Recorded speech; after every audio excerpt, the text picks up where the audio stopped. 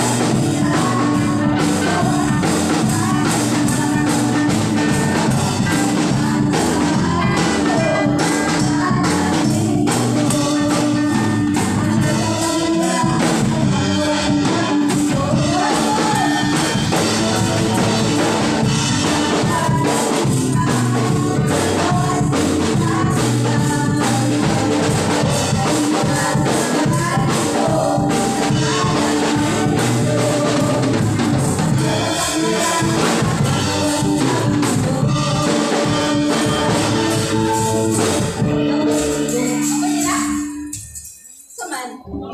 One. Ilan?